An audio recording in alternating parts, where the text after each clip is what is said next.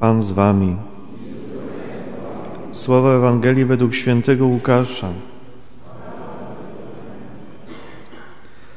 Pewnego dnia, gdy Jezus nauczał, siedzieli tam też faryzeusze i uczeni w prawie, którzy przyszli ze wszystkich miejscowości Galilei, Judei i z Jeruzalem, a była w nim moc Pańska, tak że mógł uzdrawiać. Wtem jacyś mężczyźni, niosąc na łożu człowieka, który był sparaliżowany, starali się go wnieść i położyć przed nim. Nie mogąc w żaden sposób go przenieść z powodu tłumu, weszli na płaski dach i przez powałę spuścili go wraz z łożem na sam środek przed Jezusa. On widząc ich wiarę rzekł, człowieku odpuszczone są Ci Twoje grzechy. Na to uczeni w piśmie i faryzeusze poczęli się zastanawiać i mówić, kimże on jest, że wypowiada bluźnierstwa, któż może odpuścić grzechy prócz samego Boga. Lecz Jezus przejrzał ich myśli i w odpowiedzi na nie rzekł do nich, co za myśli nurtują w sercach waszych. Cóż jest łatwiej powiedzieć, odpuszczone są Ci Twoje grzechy, czy powiedzieć wstań i chodź. Otóż, żebyście wiedzieli, że Syn Człowieczy ma na ziemi władzę odpuszczania grzechów, rzekł do sparaliżowanego, mówię Ci wstań, weź swoje łoże i idź do domu. Natychmiast wstał wobec nich, wziął łoże, na którym leżał i poszedł do swego domu, wielbiąc Boga. Wtedy zdumienie ogarnęło wszystkich. Wielbili Boga i pełni bojaźni mówili – Przedziwne rzeczy widzieliśmy dzisiaj. Oto słowo Pańskie.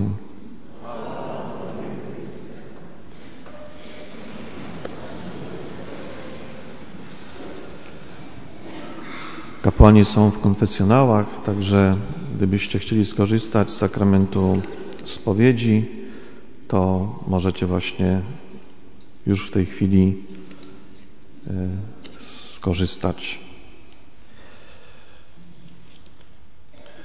Pamiętacie, o czym wczoraj wspólnie mówiliśmy, jak przebiegała ta nasza medytacja podczas pierwszego dnia adwentowych rekolekcji? Jeżeli ktoś troszkę chociaż pamięta, to niech podniesie rękę do góry. No ja muszę pamiętać, wypadałoby. Tak, oczywiście Pan Bóg chce, żebyśmy mieli marzenia, żebyśmy mieli pragnienia i konkretne plany, ale te marzenia, pragnienia, plany mogą się spełniać, mogą się realizować pod tym warunkiem, że będziemy chcieli przyjmować Boże Słowo, które jest dla nas światłem, które nam ukazuje właśnie, że Bóg działa w nas i przez nas, ale On jest ten pierwszy Najważniejsze jest to, co On nam powie.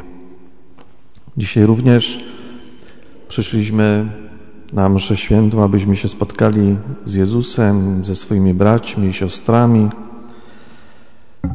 ale równocześnie, abyśmy się pochylili nad dzisiejszym Bożym Słowem i to również przede wszystkim, ale nie tylko, będzie tekst ze Starego Testamentu, z księgi proroka Izajasza. Jest to pierwsze czytanie przeznaczone na dzisiejszy dzień, które właśnie już słyszeliśmy. Podstawowe pytanie, które chciałbym, abyśmy postawili sobie i Panu Bogu, brzmi dlaczego. Bardzo krótkie pytanie. Dlaczego? Może sobie przypominacie, jak wasze dzieci, gdy były małe i dorastały, to przyszedł taki okres w ich życiu, że pytały dlaczego albo czemu. Dlaczego, czemu? Mama coś powiedziała, tata coś powiedział, czy babcia, dziadek. No a dlaczego? No a czemu? No bo to, bo to. No a dlaczego? A czemu? I tak bez końca trochę nas to śmieszyło. Ale jest to przepiękne pytanie. I dzisiaj właśnie, jeżeli spojrzymy do tego pierwszego czytania z Księgi proroka Izajasza, to znowu stwierdzimy, że Bóg jest nieograniczony w swojej mocy, jest nieograniczony w swym pięknie. W jaki sposób Boże Słowo nam ukazuje piękno życia. Dzisiaj, już na początku tego pierwszego czytania, pierwsze zdanie: Niech się rozweselą pustynia i spieczona ziemia. Niech się raduje step i niech rozkwitnie. No właśnie, dlaczego? Czy tylko dlatego, że pustynia nie jest tak piękna jak, jak kwitnąca łąka? Czy tylko dlatego, że to ładniej wygląda? Czy tylko dlatego, że do tego jesteśmy przyzwyczajeni? Czy jeszcze może z jakiegoś innego powodu? Dlaczego w ten sposób przez proroka Izajasza Bóg mówi do swego ludu? Bóg mówi dzisiaj do każdego z nas, wtedy do izraelskiego ludu, a dzisiaj do każdego z nas. Niech się rozweselą pustynia i spieczona ziemia, niech się raduje step i niech rozkwitnie. Dlatego, abyśmy znowu sobie uświadomili, że życie jest od Boga i że tylko Bóg jest ten, który daje pełnię życia i że żyć można prawdziwie tylko z Nim. On daje życie. To pierwsze czytanie, ten dzisiejszy tekst właśnie głównie podkreśla piękno życia każdego z nas, każdego człowieka.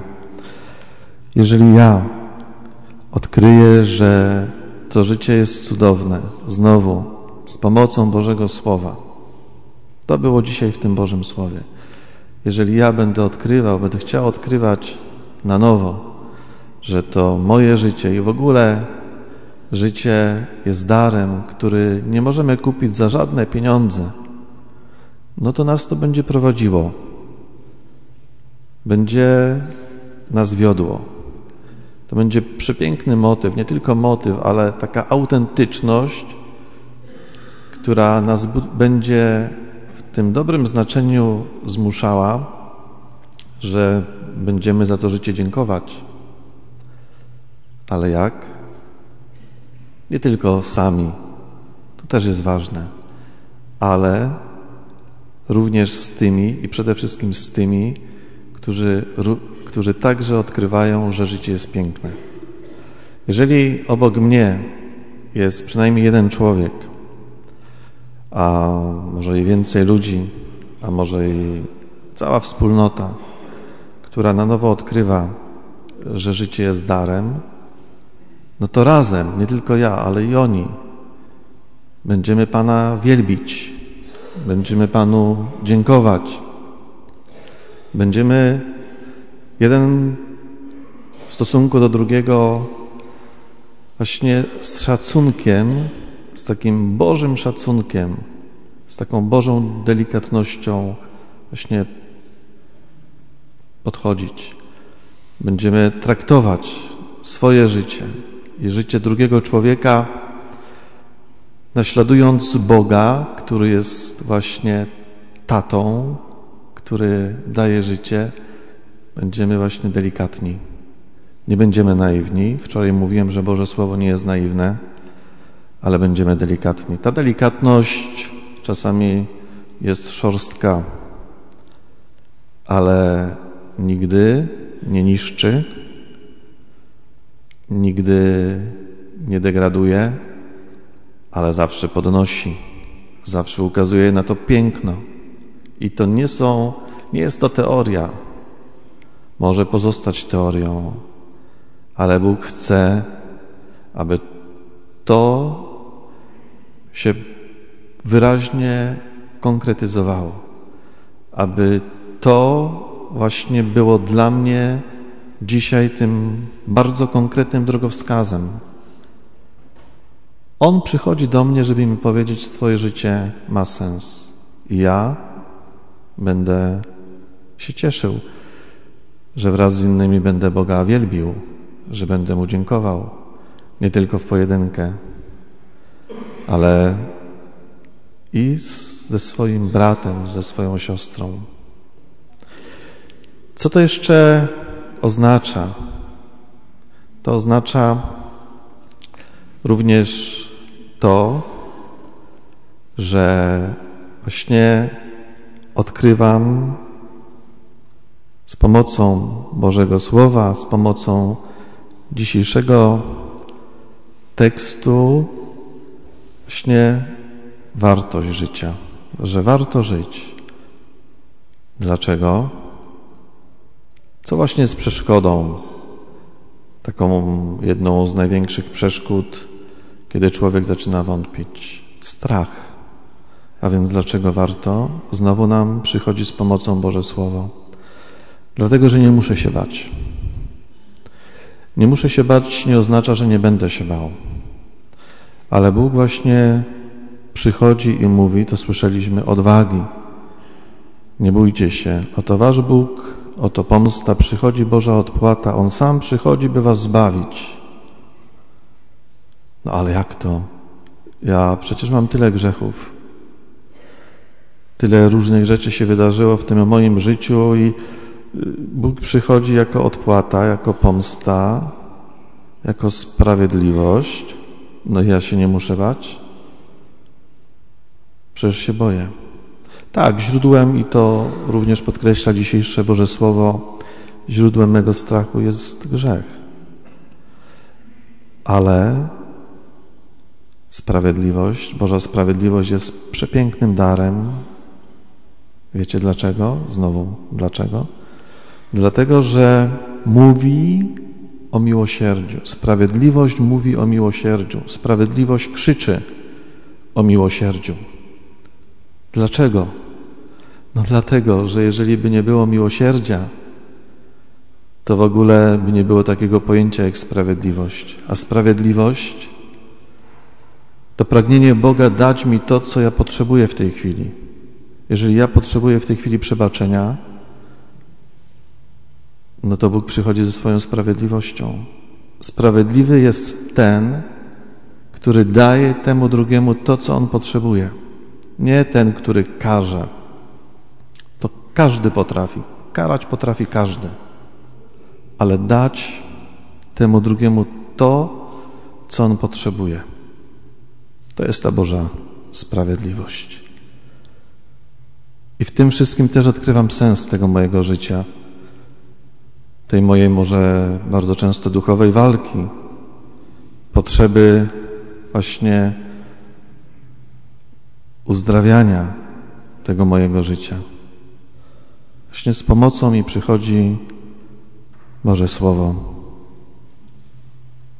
To jest cudowne, odkryć coś takiego. No i bardzo ważny element, jeżeli tak mogę się wyrazić, właśnie bezpośrednio związany z tym, o czym rozważamy, co rozważamy z dzisiejszym pierwszym czytaniem, to jest odkryć ojcostwo. Bóg jako ojciec. Ale ja jestem też ojcem, matką i właśnie pielęgnować odruchy ojcostwa, pielęgnować odruchy macierzyństwa.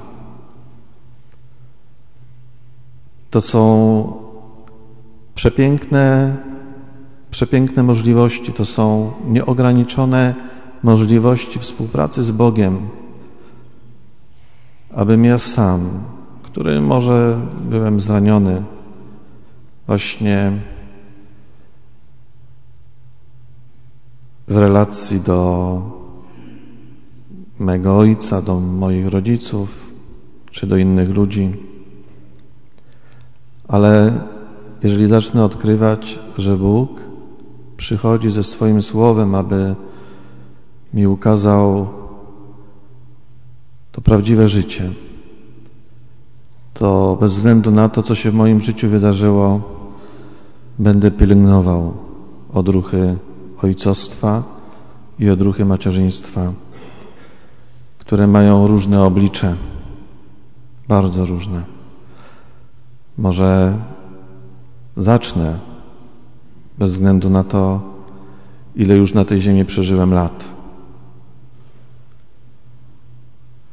Bez względu na to, ile we mnie jest blokady. Taki jest Bóg Ojciec. Taki jest Bóg Ojciec. A ja Go chcę naśladować.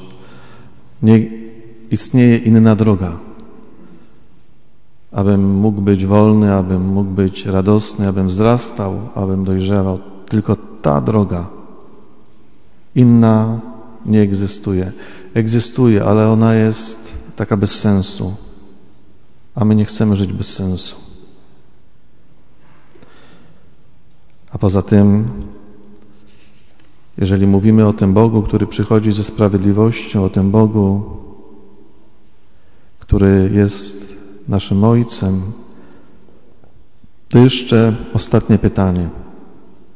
Dlaczego Bóg uzdrowił tego człowieka, o którym słyszeliśmy w dzisiejszej Ewangelii według świętego Łukasza? Jasne.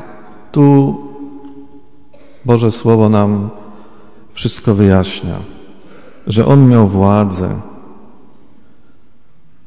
że Go przynieśli, chcieli Mu pomóc, pomóc, był sparaliżowany. Jasne, że był biedny, ale czy dlatego, czy tylko dlatego, że Jezus miał taką władzę? Czy tylko dlatego, że właśnie wszystkim chciał ukazać, że On przyszedł, aby przebaczył, aby przebaczał, aby odpuszczał. Przyszedł, aby właśnie mógł uzdrawiać.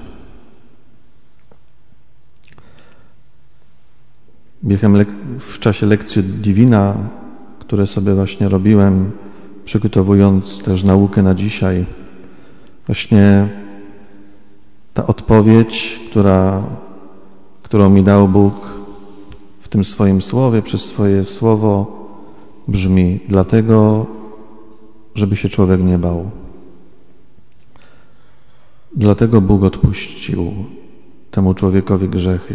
I dlatego, aby inni zobaczyli, że grzech nie jest jeszcze tragedią, jeżeli go Jezus, jeżeli Jezus odpuści ten mój grzech, jeżeli mu oddam ten swój grzech. Dlatego, żeby się człowiek nie musiał bać. Jezus przyszedł, odpuszczał grzechy, uzdrawiał, aby się ludzie nie bali i abym ja się również dzisiaj nie bał. Warto żyć. To jest właśnie przesłanie dzisiejszych czytań, tego pierwszego czytania, jak również tekstu dzisiejszej Ewangelii, a w tym wszystkim i właśnie we wczorajszym Bożym Słowie i we wczorajszym adwentowym rozważaniu naszym wspólnym w tej perspektywie Bożego Słowa widzimy cel, widzimy niebo.